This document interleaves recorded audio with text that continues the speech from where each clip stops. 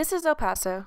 It sits at the westernmost tip of Texas, where it borders both Mexico and New Mexico. From almost anywhere in the area, you can see the Franklin Mountains as the city's backdrop. Although they may look like simple blocks of rock, they're actually a package of layers that each serve as a piece of El Paso's geologic puzzle. So if we go back to 1.2 billion years ago, El Paso was at the shoreline of a shallow tropical sea. Over time, alternating layers of limestones and mudstones were deposited all along the continental margin. These deposits are known as the Castner Marble for reasons I'll explain later. At that time, there were also a bunch of stromatolites, or communities of algae. They're pretty gooey, and when the tide washes over, sediment gets stuck to them. Since they need sunlight to live, they have to crawl up through the sediment to get access to the sun, and after going through the same song and dance a few times, their efforts amount to the dome-like structures shown here. And if you look real hard, you can find them here. Huzzah! I think I found them. The oldest macroscopic fossils in the world. So, apparently some storms blew over, and the wave action ripped up the parts of the limestone and deposited it elsewhere. Around roughly the same time, basalt flows rapidly covered these calcareous deposits. Since the lime-rich muds weren't able to lithify or harden in time, the overlying load caused the carbonates to upwell and warp in response. This is called soft sediment deformation. After being exposed on land, the area transitioned to an environment characterized by rising and falling sea level. Then, around 1.13 billion years ago, the area was characterized by explosive eruptions, lava flows, and ashfall deposits. The magma chambers that were supplying the volcanic deposits rose high enough to sit right under these layers and bake them to about 600 degrees Celsius. Through low-grade metamorphism, the Castner carbonates became marbles and hornfels, and the sandstones became quartzites. Eventually, this magma cooled and hardened to form granite, known as the Red Bluff granite.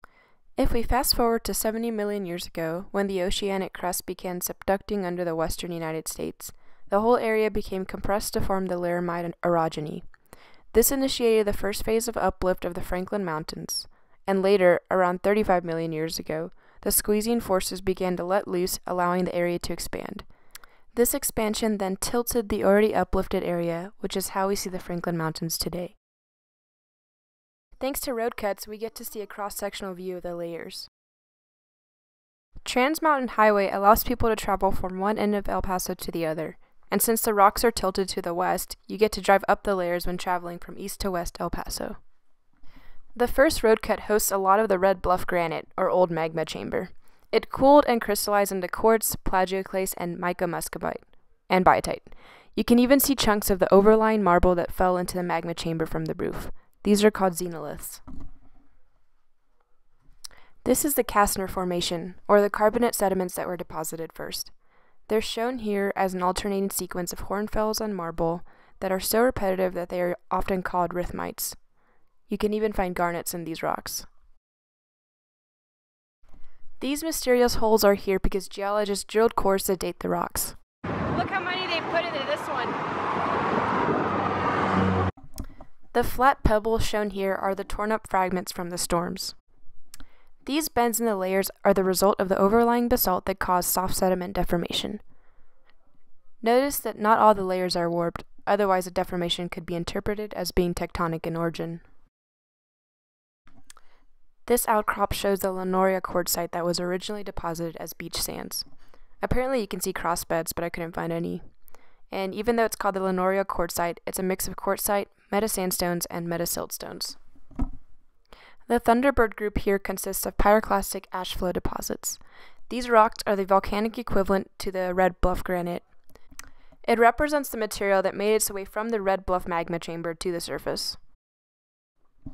This area is super cool, and then it shows what the environment was like more than a billion years ago. And it also shows what these rocks look like when they get baked by magma, or otherwise known as contact metamorphism. Also, El Paso is where my dad's old geology teacher lives, and he has a table full of rocks.